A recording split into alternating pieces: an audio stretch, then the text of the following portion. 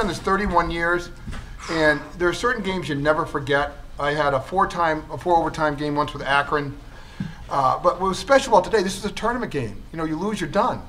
And to have that spectacular shot by my nephew, uh, you know, I'm not gonna lie, it does. It, it's really special, and he's named after my dad.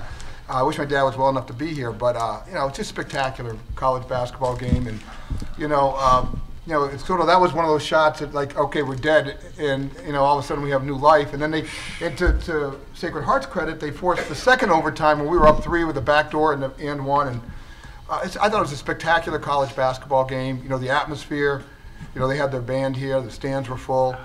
You know, I know we don't play in the Civic Center or we don't play in some, you know, mega facility, but that is as good a college basketball game as you could see in terms of the, the, just from a competition standpoint, from a drama standpoint, and just from the atmosphere in the building. I thought it was spectacular. I was really, really, uh, you know, you, as a coach, you're grateful to be part of something like that. His face, uh, I, was- I was just telling him before we got started.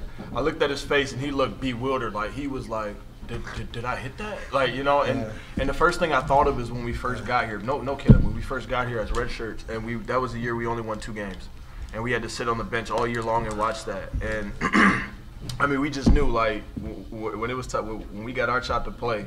uh, We were going to be impact players, and that's as big as an impact as you can make. So I'm, I'm happy for him. man. I'm proud of him. That's my brother. Yeah. I mean, it's kind of a blur right now, but the kid, like, I forget who it was, but someone almost knocked it away. It's Kelly. And then I kind of just, I stumbled a little bit, and then I just grabbed it and I tossed it up, and it felt good when I rele- released it, but I thought it might be a little short, and then it, it swished, and then, you know, then we had new life, so it worked out. games like this are what start to give a program some tradition and start to really establish you in the state at least as a division one program and one of the things i've noticed lately is you know, we had a great student support but we're also getting a lot more local people coming out and coming to the games and fortunately that game was on tv so um, you know we'd like to be you know, when people talk about URI and PC, we'd like, you know, we're not, we know we don't play in the same leagues, but we'd like people to consider Bryant right along with them. And um, games like tonight go a long ways towards establishing that kind of an identity.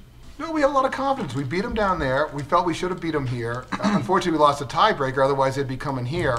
Um, you know, we, we have a lot of respect. They've been a real, um, you know, one of the top programs in this league for a long time. But we feel we can go in there and, you know, if we play our best game, we're going to be in position to have a chance. Uh, you know, and our guys, you know, we're one, one, one game away from playing for the NCAA tournament, so our guys are going to be ready to go at noon on Saturday.